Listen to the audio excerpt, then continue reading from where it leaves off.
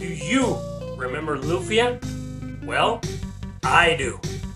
In fact, I'm a big fan of Lufia 2 Rise of the Sinistrals in the Super Nintendo, so I've always wondered why aren't they making any Lufia games anymore nowadays? We're here exactly to find out why today. Alright, let's begin.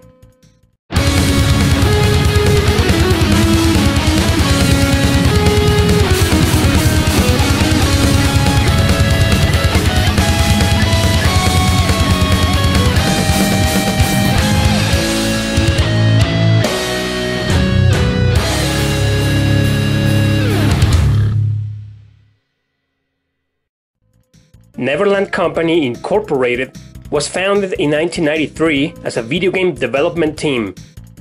They wanted to make a traditional RPG that very same year.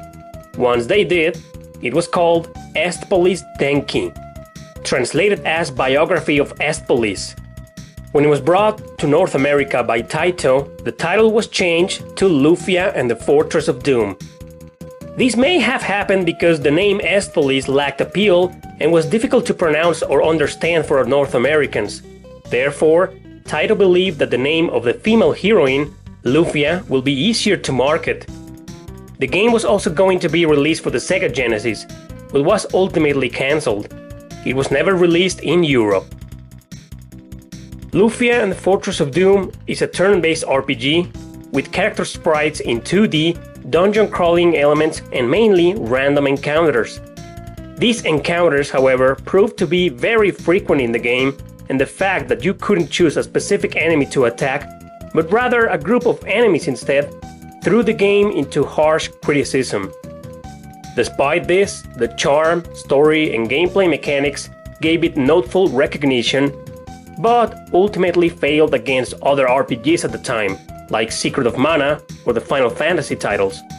Nevertheless, it was enough for Neverland to continue on with the series. Est Denki 2, or rather Lufia 2 Rise of the Sinistrals, was also released for the Super Nintendo on 1995 in Japan.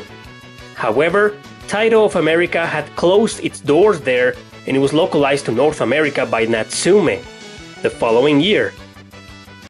But it wouldn't arrive in Europe until 1997 as the first title in the series, simply called Lufia. This presented no issues since the game was a prequel to the original Lufia. The game combined all elements from its predecessor into perfection. Encounter rate dropped to normal, puzzles and dungeons were more reasonably challenging, and the story was deeper with more insight this time. It also included several new features such as the option to avoid battles inside dungeons and slight roguelike elements to make navigation smoother. It was a commercial success, not even overshadowed by other giant titles such as Super Mario RPG or Chrono Trigger. Lufia 2 stood on its own and brought the franchise into a bright future full of possibilities.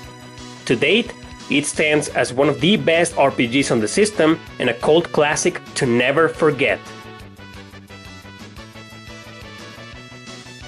During the following years, Neverland became uncertain on what to do with the franchise. Lufia 2 had been successful, yes, but not as much as they were expecting.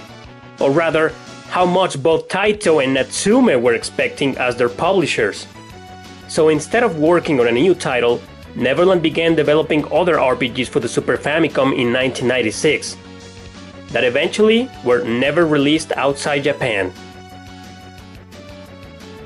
A couple of years later, it was revealed that another company called Nihon Flex was finally working on Lufia 3, and it was going to be called Lufia Ruins Chaser, still within the same universe as the others, as a canon title for the PlayStation. The company, however, went out of business by the late 90s, so Taito gave the rights back to Neverland, who picked up the project and turned it into a Game Boy Color exclusive called Lufia The Legend Returns.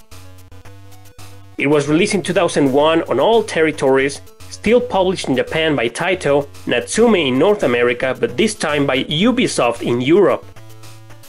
Story was completely rewritten, new characters were added and graphics were significantly downgraded. And even though some gameplay mechanics were similar to previous titles in the series, it looked and played remarkably different, making it seem more like a spin off than a canon title. Nevertheless, it was Lufia 3 through and through, but criticism, questions, and uncertainty began immediately after its release. First of all, who was this Nihon Flex company? And most importantly, why was it involved with Lufia in the first place? However, yet another big question was why was the series being taken to a portable system? Confusion began, and combining the lack of success of Lufia 3, Neverland dropped the series. Natsume withdrew temporarily and took them to work on other titles, including Sima the Enemy for the Game Boy Advance.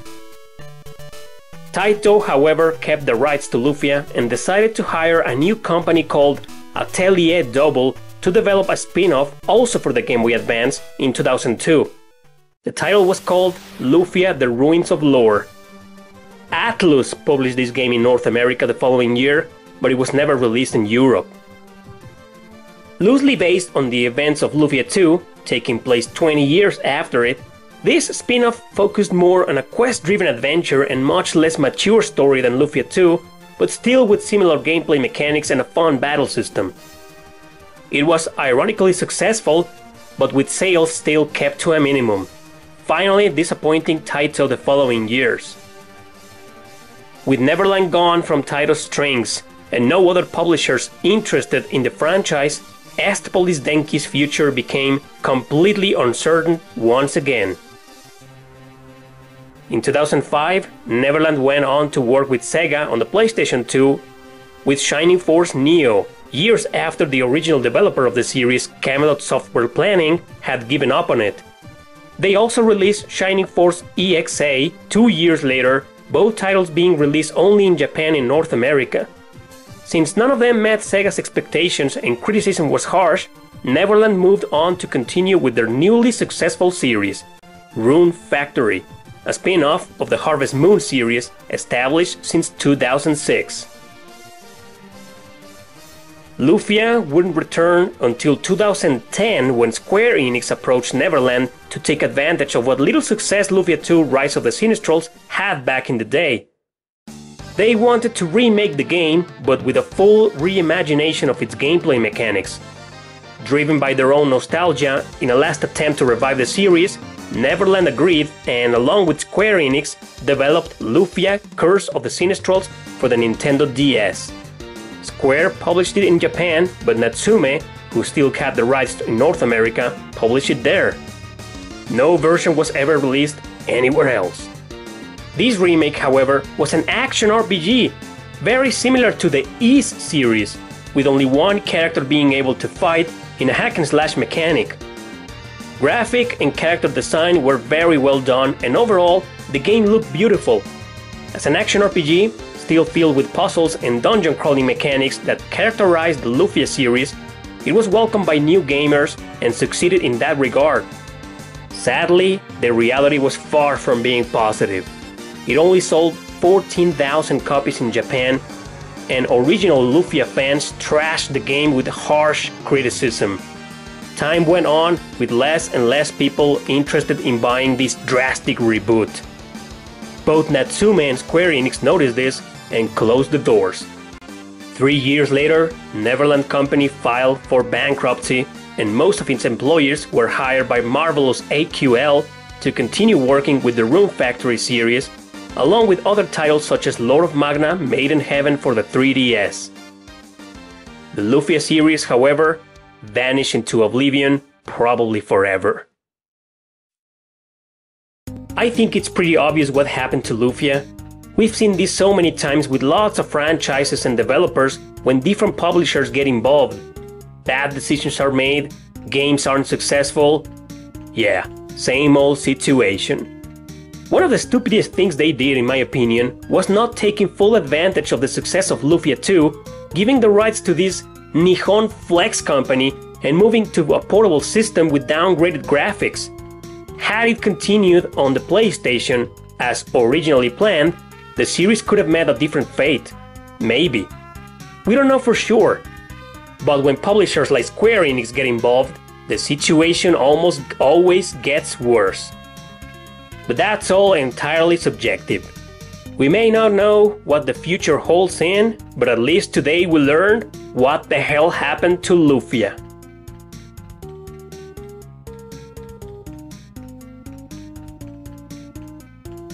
You know, this plot hole of Nihon Flex, this weird company being involved with Lufia, still bugs me, still bothers me. And as much as I researched this whole thing on the internet, I found nothing. So if any of you guys know something about this, please let me know in the comment section below. Anyway, we learned today what the hell happened to Lufia. The same thing that happens to a lot of franchises, to a lot of companies, to a lot of developers. Same old situation. They failed, they were never really successful to begin with, bad decisions, lots of publishers, etc. The same thing over and over, time and time and again. That's what happened to Lufia. Thanks so much for watching, don't forget to subscribe and share this video with your friends. See you next time!